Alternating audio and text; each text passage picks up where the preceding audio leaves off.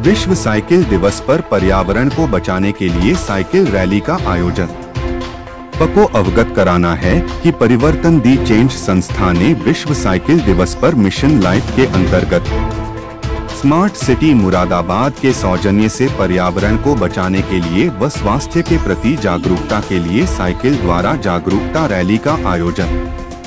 आज 3 जून को किया इस रैली को सुबह सात बजे कंपनी बाग मुरादाबाद से मंडलायुक्त आंजने कुमार सिंह द्वारा हरी झंडी दिखाकर रवाना किया गया। तत्पश्चात यह रैली गुरहट्टी, कोतवाली, पान, Dariba, IC Jama Masjid, Atal Ghat station road होते हुए पीली कोठी स्थित स्मार्ट सिटी कार्यालय पर आकर पूर्ण हुई।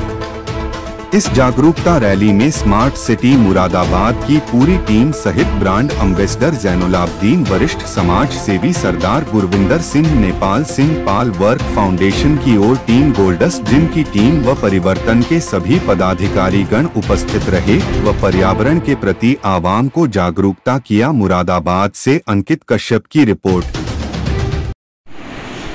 मेरा नाम प्रिंस चौहान है, मैं परिवर्तन नितिन संस्था से हूँ। आज विश्व साइकिल दिवस पर हमने स्मार्ट सिटी मुरादाबाद के साथ मिलकर एक साइकिल द्वारा जागरूकता रैली की है। इस जागरूकता रैली को मंडलायुक्त मुरादाबाद जी के द्वारा हरी झंडी दिखाकर रवाना किया गया था। ये रैली गुरहट्टी कोतवाली, पानदरीबा जामा मस्जिद और अटल घाट से स्टेशन रोड होते हुए स्मार्ट सिटी पर आकर संपन्न हुई। इस रैली द्वारा लोगों को जागरूक किया गया है किस तरीके से हम अपनी एनर्जी को बचा सकते हैं, किस तरीके से हम अपने स्वास्थ्य के प्रति जागरूक हो सकते हैं और किस तरीके से हम थोड़ी थोड़ी दूरी के लिए साइकिल का इस्तेमाल कर सकते हैं। क्योंकि क्लाइमेट चेंज हो रहा है, क्लाइमेट चेंज को रोकने के लिए हमें छोटे छोटे स्टेप लेने पड़ेंगे।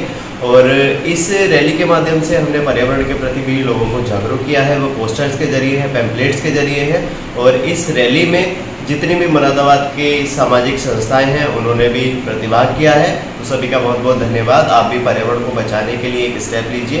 धन्यवाद।